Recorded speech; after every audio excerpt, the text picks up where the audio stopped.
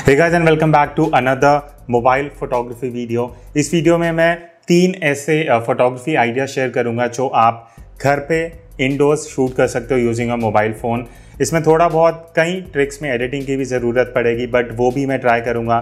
मैं फ़ोन के अंदर ही ऐप्स में एडिटिंग करूँ। सो आई होप इस वीडियो में आपको कुछ नए मोबाइल फोटोग्राफी ट्रिक सीखने को मिलेंगे। अगर ऐसा होता है do hit the subscribe button जो आपको नीचे दिख जाएगा। If you haven't already subscribe so let's get started with this video तो जो सबसे पहली मोबाइल ट्रिक मैंने इस वीडियो के लिए किया है, वो है लेविटेशन फोटोग्राफी यहाँ पे आप ये जो फ़ोटो देख रहे हो यूल सी कि जो एक कैमरा है, इसी तरह का कुछ फ्रेम है, यहाँ पे ही बैठ के मैंने शॉट लिया था. एंड मैं आउट ऑफ़ फोकस हूँ या थोड़ा बैकग्राउंड में हूँ और जो कैमरा है उस पर फोकस है एंड वो फ्लोट हो रहा है। और ऐसे लग रहा है कि कैमरा को मैंने लाइक ऊपर फेंका है एंड उसका शॉट मैंने कैप्चर किया है। एक्चुअली ये एक शॉट नहीं है, ये दो फ़ोटोज़ हैं जिनको मैंने एडिटिंग में कंबाइन किया है। अब उसके लिए आपको कुछ चीज़ें जो ध्यान रखनी पड़ेंगी। सबसे पहले इस तरह का एक ट्राईपॉड आपको चाहिए होगा। अब वो क्यों मैं आगे आपको दिखाऊँगा कि क्यों वो ट्राईपॉड यूज़ हुआ इस पर्टिकुलर सिनेरियो में।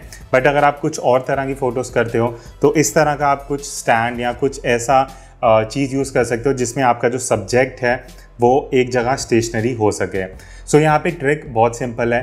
पहले आप अपने फ़ोन से अगर फ़ोटो ले रहे हो ट्राई करो कि आप मैनुअल मोड में जा सको बिकॉज़ यहाँ पे हमें जो फोकस है उसको मैनुअली सेट करना पड़ेगा। अब फॉर एग्ज़ाम्पल मेरा फ़ोन यहाँ पे है और कुछ इस तरह का फ्रेम बन रहा है। तो जो मैं अपना फोकस है अगर मैं इस फ़ोन से शूट कर रहा हूँ जैसे फॉर एग्ज़ाम्पल आप वीडियो देख रहे हो। सो so, यहाँ पे मैं मैनुअल फोकस में यहाँ पे फोकस कर दूँगा फ़ोन पे और मैं थोड़ा बहुत आउट ऑफ़ फोकस हो जाऊँगा। अब यहाँ पे जब आपने फोकस फ़ोन पे रख दिया अब मैनुअल मोड पे जब आप हो तो जब आप मल्टीपल फ़ोटोज़ ले रहे हो, वो फोकस उधर ही रहेगा, वो चेंज नहीं होगा। तो आपको क्या करना है? सबसे पहले एक फ़ोटो क्लिक करनी है। फॉर एग्ज़ाम्पल इस तरह का फ्रेम होगा। और लेट सपोज़ अगर मैं इस तरह से कर रहा हूँ फ्रेम एंड कैमरा यहाँ पे पोजिशन है।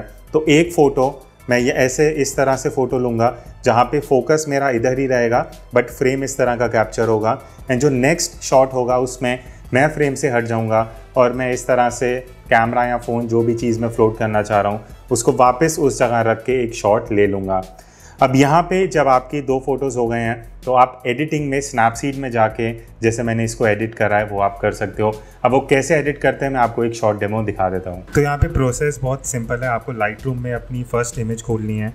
उसके बाद आप जब टूल्स में जाओगे, वहाँ पे आपको एक डबल एक्सपोजर का टूल मिलेगा तो आपको उस पर क्लिक करना है। अब यहाँ पे सेंटर में आपको ऐड इमेज का आइकन दिखेगा। वहाँ से आप अपनी सेकेंड इमेज को चूज़ कर सकते हो।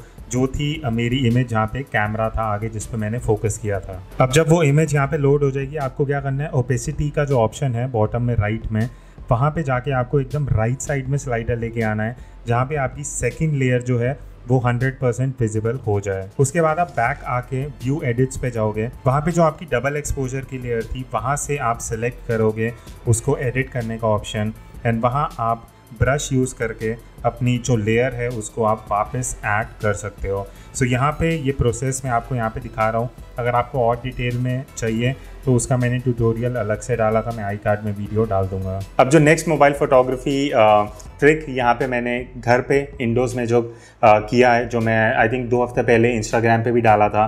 सीडी को यूज़ करके आई डोंट थिंक आप कोई सी लेता है या नहीं लेता है I am not sure enough but मेरे पास पुरानी सीडी पड़ी हुई थी एक सॉफ्टवेयर की। सो so, इसके ऊपर आप यहाँ पे देखोगे इसकी जो बैक साइड है काफ़ी रिफ्लेक्टिव रहता है एंड बहुत प्लेन सरफेस होता है। यहाँ पे आप जो ड्रॉपर आता है जो आई ड्रॉपर होता है अगर नहीं है तो आप कहीं भी केमिस्ट के शॉप से परचेज कर सकते हो।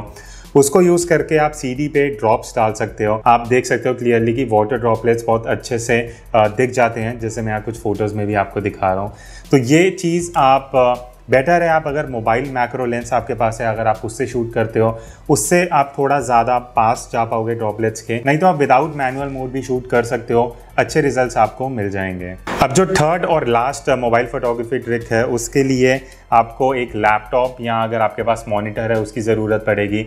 यहाँ पे ट्रिक बहुत सिंपल है, आपको सीधा लाइक गूगल पे सर्च करना है इमेज लेट सपोज़ मेरे को यहाँ पे कुछ बोके की इमेजेस चाहिए।